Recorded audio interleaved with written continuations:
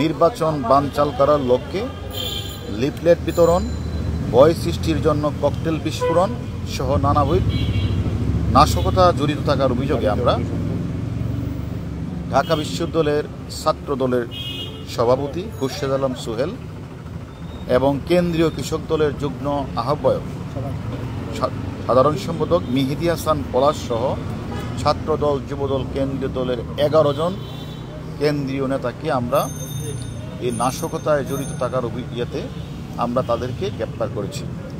এবং ছাত্র দলের সভাপতি এবং যুগ্ম সাধারণ সম্পাদকের তথ্য দেওয়া মতে, তারা যখন তাদের কাছে যখন আমরা লিফলেট উদ্ধার করলাম, এই লিফলেট উদ্ধার করার পর তারা যেটা বললেন, আমরা এই লিফলেটটা কোথায় পেয়েছেন বা কোথা থেকে আপনার, তখন তারা বলল যে নীলক্ষেত একটা ছাপাখানা থেকে আমরা এগুলি আমরা পেয়ে থাকি এবং আমাদের সিনিয়র নেতারা যারা আছেন, তারা আমাদেরকে সেখান থেকে নিতে বলেন। এবং তারই প্রেক্ষিতে তারা এই প্রিন্টার্স যেটা প্রাইম প্রিন্টার্স এটার মারি হলো ডাক্তার দিদার। সে একসময় ছাত্রদল, যুবদল এবং বিএনপির রাজনীতি জড়িত ছিল। তার এখান থেকেই এই লিফলেটগুলি তারা এখান থেকে সরবরাহটা করছে। এবং এখান থেকেই আমরা আটজনকে গ্রেপ্তার করেছি এবং টোটাল আমাদের এগারো জন গ্রেপ্তার।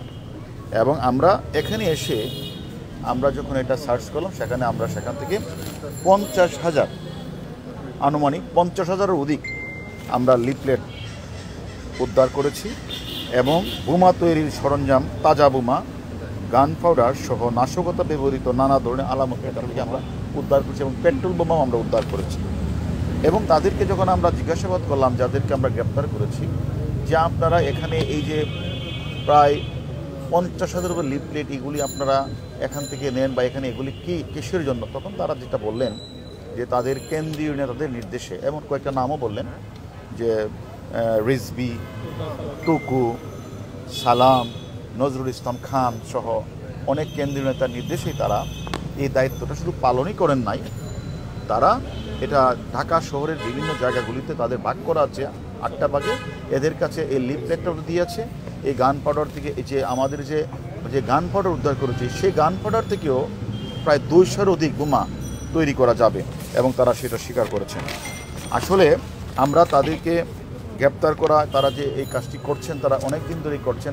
আপনারা জানেন যে নির্বাচন কমিশন একটা সাংবিধানিক সংস্থা, এটা প্রতি পাঁচ বছর পর পর একটা নির্বাচন হয় দেশে এবং সংবিধানের বাধ্যকতা অনুসারে অবাধ, সুষ্ঠু, নিরপেক্ষ নির্বাচন করার জন্য দেশ যখন নির্বাচনে মগ্ন দেশ যখন নির্বাচনের আমেজে ব্যস্ত, তখন আপনারা দেখেছেন আঠাইশে অক্টোবরের পর যারা একদিকে যানবাহন ভাঙচুর করেছেন অগ্নিসংযোগ, বোমা, ককটেল বিস্ফোরণ করেছেন, রেলের বুকিতে আগুন লাগিয়েছেন শিশু বাচ্চাদের হত্যা করেছেন, পুলিশকে হত্যা করেছেন সব কিছু করার পরেও যখন তারা ব্যর্থ হয়েছেন যে নির্বাচনকে বন্ধ করতে পারেন না নির্বাচন চলছে, আমরা নির্বাচন কমিশনের দিক নির্দেশনা অনুযায়ী অবাধ একটি সুষ্ঠু নির্বাক নির্বাচন করার জন্য আমরা কাজ করছি।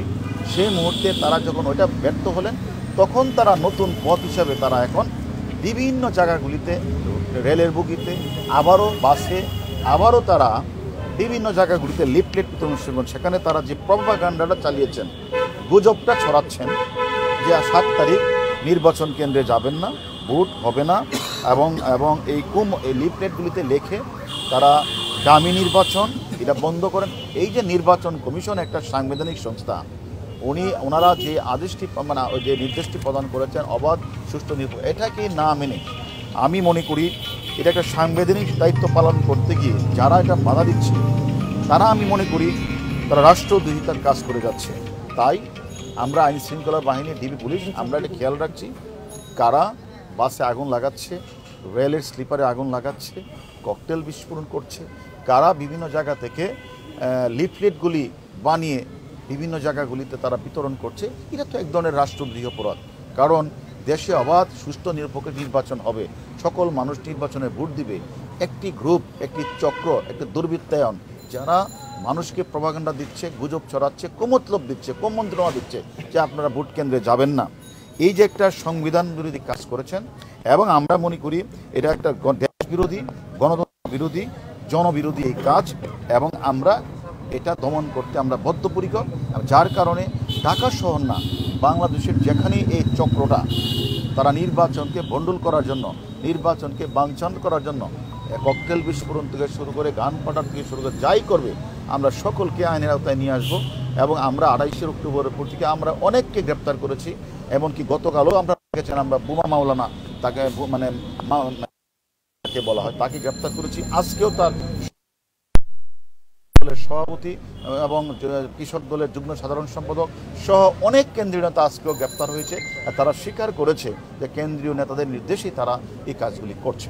আচ্ছা আরেকটা প্রশ্ন সেটা কিন্তু শুধু যুবদল ছাত্রদল বিএনপি তো না তাদের সঙ্গে তো যুক্ততা আন্দোলন করছে আর যে সমমনা দলগুলো তাদের তারাও তো নির্বাচন বিরোধী বক্তব্য দিচ্ছে লিফলেট তাদের বিরুদ্ধে ব্যবস্থা কি? না আমি তো সেটাই বলছি যে এক নির্বাচন কমিশন একটা সাংবিধানিক প্রতিষ্ঠান একটি নির্বাচন দেশে হবে।